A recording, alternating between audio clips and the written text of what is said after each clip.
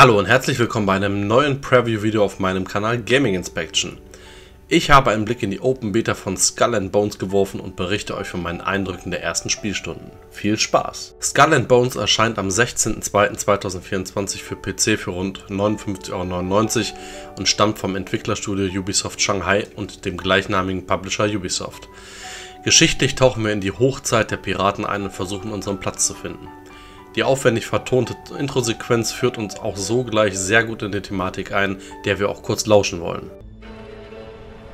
Der Anbruch des Kapitalismus. Unternehmen so mächtig wie Nationen beherrschen die See- und die ertragreichsten Handelsrouten der Welt.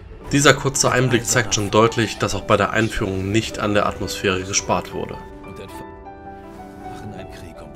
Nach der Intro-Sequenz befinden wir uns auch eigentlich schon im Prolog bzw. direkt schon im Gefecht und können so ein bisschen mal ausprobieren, was die Steuerung eigentlich mit sich bringt. Das heißt, wir werden erstmal ein bisschen wild umherballern müssen oder können und sehen uns an einem Schlachtfeld wieder, was wirklich sehr, sehr unübersichtlich erscheint. Aber das ist, wie gesagt, für den Anfang nicht so wichtig. Wir sehen hier ähm, am Rande noch die gegnerischen Schiffe. Das sind ähm, hier Engländer an dem in dem Bereich oder Briten oder wie sie damals bezeichnet werden. Und hier werden wir uns erstmal ein wenig zur Wehr setzen müssen. Wir haben auch schon ein Ziel bekommen, das größere Schiff, was wir im Hintergrund haben und können natürlich auch ein bisschen die anderen noch anschießen. Natürlich sind wir im Prolog erstmal unbesiegbar, ansonsten hätten wir diesen Kampf nicht mal ansatzweise irgendwie auch bestehen können. Das werden wir auch später im Spielgeschehen noch äh, sehen, dass es schon deutlich schwieriger werden wird. Aber allein nur diese Prologsequenz macht schon richtig Bock, einfach nur ein bisschen umherzuballern und um, um Unruhe zu sorgen. Wenn man ein bisschen länger in der, äh, im Prolog äh, weitergespielt hat, sieht man noch wirklich eine Sequenz dann kommen, wo wir eigentlich unserem Untergang langsam entgegeneifern und versuchen uns da noch ein bisschen zu wehren. Aber das äh, wird erstmal keinen großartigen Stellenwert mehr einnehmen. Hier sehen wir schon es übernimmt die nächste Intro-Sequenz und wir sehen am Ende schon diese Artilleriefeuer, was es auf uns einprasselt und unser Schiff dann tatsächlich zum Untergang zwingen wird, sodass wir diese Schlacht auch wirklich verloren haben. Nach der verlorenen Schlacht sehen wir uns auch im Stile von Titanic wieder auf einem kleinen Holzbrett wieder und merken langsam, dass unser Charakter oder unser Spieler hier nicht gestorben ist, sondern die Sache noch überlebt hat. Die britische Flotte ist irgendwie verschwunden, keine Ahnung warum. Aber wir befinden uns dann auch so gleich im Modus, wir gucken in unsere Pfütze hinein und können dann unseren Charakter erstellen. Auch dabei können wir wahlweise sehr viele ähm, verschiedene äh, Charaktertypen, männlich, weiblich, auswählen und uns dann für einen beliebigen entscheiden. Und dann können wir auch wirklich in die Detailanalyse reingehen. Das heißt, Hautfarbe können wir auswählen, wir können die Körperform auswählen, den äh, Körperschmuck, die Augenfarbe, Haare, Gesichtsbehaarung. Also hier bleibt erstmal dem Zufall nicht zu überlassen. Also man kann jetzt wirklich, wenn man Lust hatte, sehr, sehr viel Einstellung hier vornehmen und ein wenig äh, Zeit darin investieren. Natürlich wird eine Augenfarbe oder sonstiges jetzt äh, nicht großartigen Spieleinfluss nehmen, aber hier kann man sich wirklich einen Charakter nach seinem eigenen Belieben erschaffen und wie man auch dieses Piratenabenteuer äh, erleben möchte. Was ich ein bisschen interessant finde, ist, dass man nicht äh, die voreingestellte Version des Charakters ähm, für unendlich haben muss, sondern man kann diese auch später noch ähm, variieren oder nochmal verändern, auch selbst äh, auf dem weiblichen Charakter, wenn man männlichen genommen hat. Aber da kommen wir später noch zu. Zu Beginn werden wir dann von zwei anderen Piraten aufgegabelt und haben dann so einen kleinen äh, Fischkutter und beginn, äh, sind dann schon im eigentlichen äh, Spiel drin. Und da sehen wir, wir können uns schon direkt mit dem Speer zur Wehr setzen, weil unter anderem auch Haie, auch später Krokodile oder sonst was unser Schiff angreifen und versuchen zum Untergang zu bringen. Das heißt, hier muss man versuchen, ähm, sich da ein bisschen zur Wehr zu setzen. Ganz am Anfang muss man natürlich auch zusehen, dass man erstmal ein bisschen zurechtkommt. Das heißt, man wird erstmal ein paar abtrünnige andere Piraten sehen, mit denen man quasi einen Dialog und erste Quests bekommt.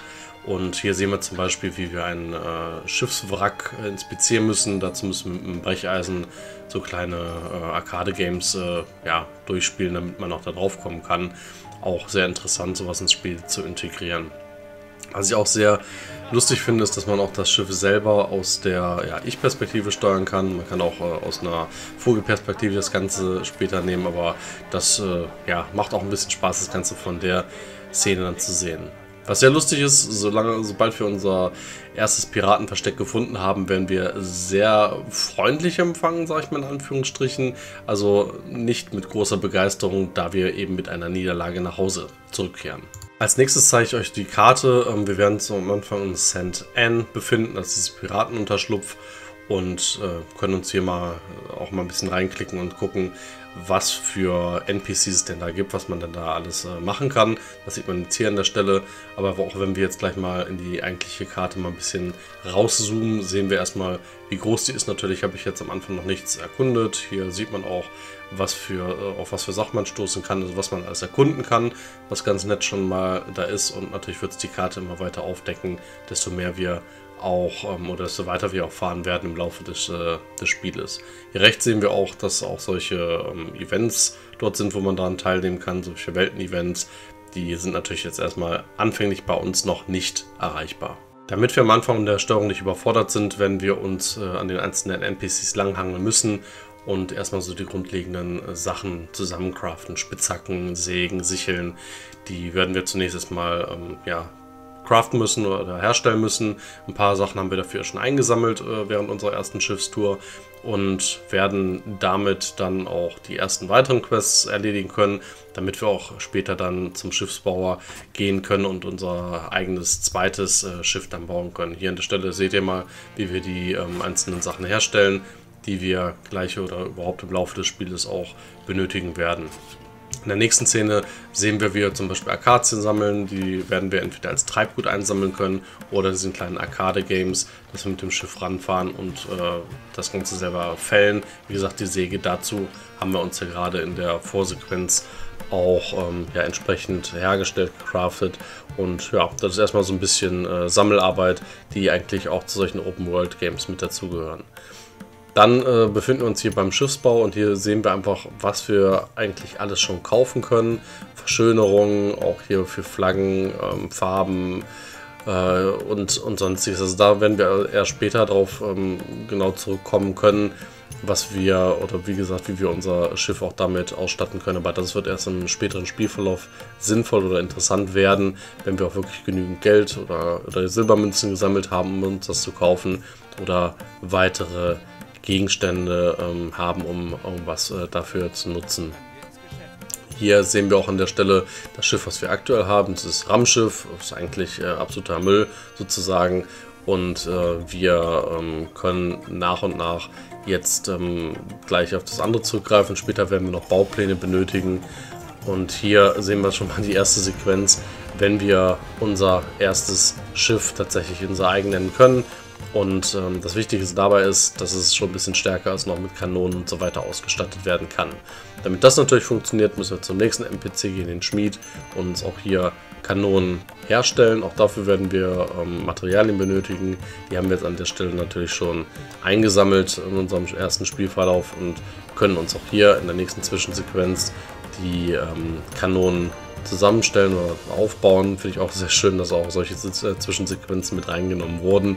Aber ansonsten kann man noch andere Bewaffnungen oder Harpunen oder ähnliches bauen, auch ähm, Rüstung und sonst was. Und wir werden natürlich auch Kanonenkugeln äh, herstellen müssen, damit äh, wir was zum Schießen haben. Deswegen auch an der Stelle, ich habe jetzt mal hier wirklich mal ausgenutzt, was ich an Altmetall hatte und das einfach mal komplett investiert an der Stelle.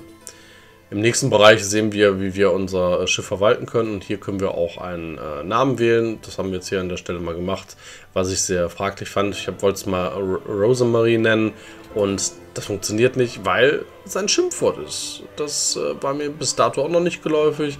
Aber gut, ähm, wollen wir uns nicht mit solchen Kleinigkeiten befassen. Wir haben sie einfach Babette genannt und werden damit unser Unwesen dann erstmal treiben.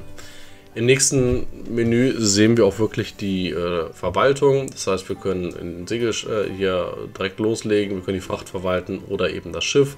Und hierbei zum Beispiel unter anderem die Bewaffnung. Hier haben wir schon mal drei Kanonen gekauft und in dem kleinen Schiff können wir vorne, links sowie rechts eine Kanone hinstellen. Das machen wir an der Stelle auch erstmal. Bei späteren höheren Schiffstypen können wir natürlich mehrere Kanonen ähm, an verschiedene Positionen packen. Es werden auch solche Artilleriekanonen ähm, zur Verfügung stehen, die man beispielsweise vorne hinstellen kann. Auch hier ähm, weitere Ausstattungssachen, Tauwerk, Kasten etc. haben ähm, gewisse Buffs, sage ich jetzt mal. Also hier da zum Beispiel, die Beschleunigung wird auf 300% erhöht und wir können auch Schiffsverschönerungen machen. Aber ähm, wenn wir auch hier erstmal so eine kleine Einweisung bekommen, werden wir am Anfang nicht auf alle zurückgreifen können, sondern müssen uns die nach und nach eben freischalten und dazu kaufen. Das haben wir vorhin bei den NPCs gesehen. Ansonsten so Farbe, Muster ähm, können wir da an der Stelle erstmal schon mal machen, dass wir zumindest jetzt ganz am Anfang ein bisschen optisch was äh, ja, auf die Beine stellen können. Auch äh, genau den Rumpf können wir auch von der Farbe her verändern. Aber wie gesagt, ganz am Anfang werden hier noch nicht Verzierungen oder sonst was zur Auswahl stehen, weil wir das alles noch nicht freigeschaltet haben. Sobald wir unser Schiff äh, so gestaltet haben, wie wir es wollen, können wir auch in See stechen und dann die ersten, ähm, ach, okay, die zweite Schiff habe ich übrigens Betty genannt, genau, und können dann tatsächlich die ersten Aufgaben erledigen, um dann im Spiel weiterzukommen. Bevor wir im Gameplay weiterkommen, werde ich euch noch ein paar Verschiedenen zeigen, die ich gerade angesprochen habe. Ähm, jetzt bin ich schon im weiteren Spielverlauf und werde hier zum Beispiel vorne solche kleinen Sachen anbringen können. Aber dafür benötigen wir trotzdem noch Gold und ähnliches, um das anbringen zu können. Das heißt, das ist tatsächlich auch ein bisschen kostenspielig. Auch Verzierung an der Seite. Ich weiß gar nicht, ob die irgendwie einen großartigen Nutzen haben, dass man irgendwie nicht oder schwerer geändert werden kann. Das weiß ich nicht. Oder es einfach nur um, so eine Optik an der Stelle ist, das ein bisschen fieser aussieht. Das äh, kann ich jetzt nicht beantworten. Ähm, in dem nächsten Bereich sehen wir übrigens, wie wir auch die Fracht verwalten können, wie ich es gerade schon erwähnt habe. Äh, manche Truhen, die wir gefunden haben, können wir natürlich öffnen und sehen, was da drin ist und können das natürlich komplett äh, erstmal rausholen da. Und dann müssen wir natürlich zusehen, dass wir unser Schiff so ein bisschen entladen, weil wir natürlich dann nur einen begrenzten Platz haben. Das heißt, wir können irgendwann nicht mehr looten. Deswegen müssen wir das äh, in unser Lagerhaus äh, überfrachten. Schade ist, dass man irgendwie nicht alles auswählen kann, sondern man nach und nach die Sachen anklicken muss. Ist ein bisschen blöd gemacht, aber hätte man ein bisschen besser bestimmt regeln können, aber damit konnten wir uns auch arrangieren. Hier haben wir übrigens auch so eine erste andere Kanone, die wir noch hatten. Ähm, und hier sehen wir, ähm, wie auch diese einzelnen Typen da aus, ausschauen und können das Ganze entsprechend auch, wie gesagt, platzieren. Wir können übrigens auch die Sachen auf dem Schiff verändern, ähm, wie beispielsweise die Besatzung, da können wir andere Sachen anziehen. Wie gesagt, auch das ist relativ kostspielig und für, für den Anfang oder zu Beginn erstmal relativ uninteressant, aber wir können sonst noch alles, wirklich das Steuerrad äh, anpassen und keine Ahnung was. Also da ist wirklich der optischen Raffinesse erstmal nichts, äh, keine Grenzen gesetzt und da können wir uns echt ein bisschen austoben, um da auch zu schauen, was wir alles erledigen können. Als kleinen Exkurs zeige ich euch hier übrigens nochmal, ähm, dass wir auch auf äh, gewisse Schatzkarten zurückgreifen können oder die finden werden. Und äh, dort sind so ein paar Hinweise gegeben und da müssen wir uns auf die Suche begeben, um da auch den Schatz auszugraben. In der kurzen Zeit habe ich jetzt keinen gefunden, aber ich finde es sehr interessant, dass auch das in dem Spiel mit aufgegriffen wurde, sodass man auch so ein bisschen Abwechslung in die Spielthematik damit reinbringen konnte. Wenn wir mit allem fertig sind, können wir uns dann auch an die einzelnen Missionen begeben. Im Hintergrund hören wir unsere Mannschaft singen, während wir wirklich hier versuchen, die erste Mission zu erledigen. Da müssen wir so ein paar kleinere Schiffe zum Untergang bewegen, das heißt, diese angreifen und dort sind die ja, Kämpfe doch schon deutlich herausfordernder als im Prolog. Wir sehen unten links auch die äh, Energieanzeige unseres Schiffs. Wir können es währenddessen auch reparieren, was wir jetzt hier nicht gemacht haben. Wir können irgendwas essen, damit wir gewisse Vorteile oder Buffs bekommen. Und das ist schon mal sehr, sehr interessant. Des Weiteren können wir auch ähm, andere Schiffe entern. Das sehen wir jetzt hier. Wir haben versucht, ihn gerade zu erreichen. Ist nicht geschafft. Das heißt, wir müssen ein bisschen näher ranfahren. Das ist zum Beispiel, ähm, wenn man äh, manche Items erbeuten muss. Das heißt, man kann, man muss das Schiff entern, damit man auch hier die Sachen bekommt. Hier sieht man so eine kleine Sequenz. Das heißt, es ist kein richtiges Entern, sondern man zerstört das Schiff, aber beutet noch ein paar andere Sachen aus, aber doch äh, relativ nett ins Spiel integriert. Auf der oder in St. Anne gibt es übrigens auch noch ähm, weitere Sachen wie so ein Auftragsbrett, auf was man zurückgreifen kann. Dort äh, kann man auch separat neben den NPCs äh, manche verfügbaren Aufträge erledigen, um entsprechend äh, Silber als Belohnung zu bekommen. Wie gesagt, diese Währung werden wir auch früher oder später da an der Stelle benötigen. Je nachdem, wie schwer die Mission ist, wird man natürlich mehr oder weniger Gold oder äh, Silber erhalten, aber das ist, denke ich mal, auch ähm, leicht verständlich. Zuletzt äh, werden wir auch noch einen NPC kennenlernen, wo wir unseren Charakter noch verändern können, verschönern können.